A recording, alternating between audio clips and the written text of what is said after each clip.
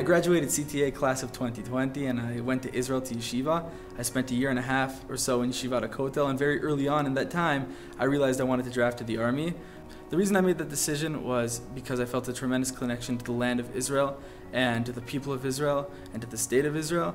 And I've always tried to live my life wanting to do what's right and wanting to give as much as I can to the Jewish people and to do something in the prime of my life that will help people in a serious way. And I saw the Army as a real beacon for that, as the decision that was right for me, as something that I knew every day when I was getting up um, that I'd be doing something correct, something that's right, something that's protecting people, something that's ensuring the future of the Jewish people. And CTA really built that for me. From my time in first grade, just knowing that it was a major part of my life, being involved in all aspects of Judaism, and in a place like Columbus, Ohio, a place with not so many Jews, having the place to really grow in my Judaism and to feel like I'm a part of a nation that is not surrounding me like it is in Israel. You go all over Columbus and, and you don't see many Jews. But here in CTA I was able to I was able to thrive and I was able to grow in my Judaism and that sent me towards yeshiva and ultimately towards the army. My greatest memories from CTA really come from the camaraderie I had with my with my peers and the relationships I had with my teachers and the environment in CTA was just was just tremendous the entire time I was here um, I always had a great time.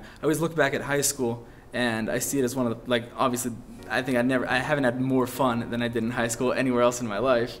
And people, I hear my siblings sometimes like complaining, I have this much homework and, and I have this test and that test. And I always think to myself, like, wow, I wish I could, I wish I could go back to those days and just relive them a little bit.